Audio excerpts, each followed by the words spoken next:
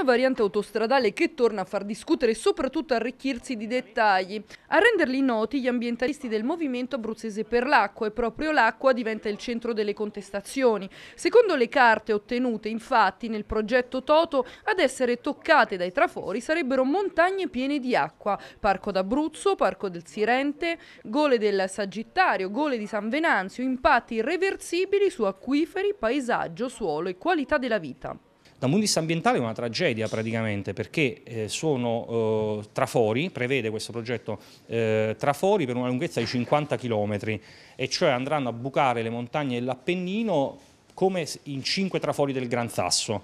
Addirittura vanno a bucare il, par il Parco Sirente Velino con un traforo di 13 km, i Simbruini con un traforo di 10 km e tante altre gallerie eh, sparse per le montagne abruzzesi.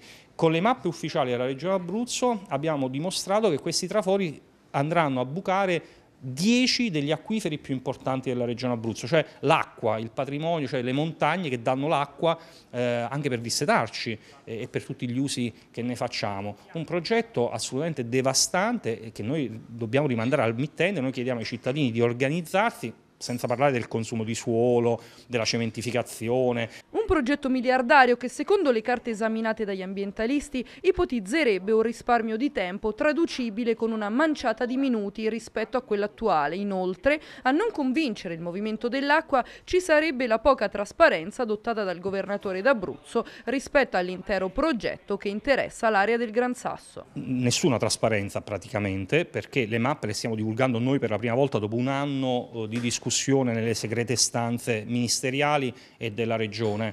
Eh, questo è un fatto molto grave a, a mio avviso, eh, noi le divulghiamo eh, perché pensiamo che la trasparenza sia il primo aspetto del dibattito